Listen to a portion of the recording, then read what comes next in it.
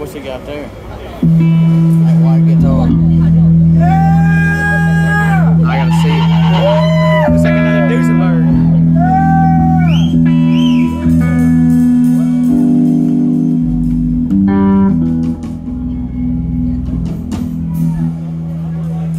He's plugged straight in. That's another Duesenberg. Got the white and black to match. If y'all like the way this guitar sounds and you want to sound like that, it's pretty easy. Just plug it straight in and turn it up to 10. And get yourself some earplugs. I can't hear and some very cool neighbors who are willing to go to 10 with you.